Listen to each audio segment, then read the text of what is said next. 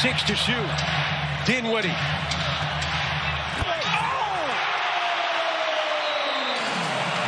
Dinwiddie with a dunk.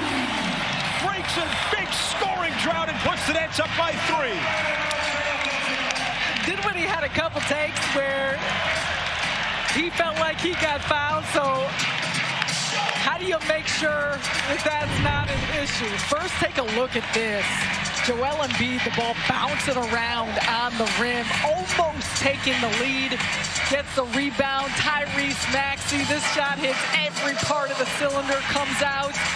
And then Spencer Dinwiddie, straight line drive, catching a body. Throws it down with Harris on his hip.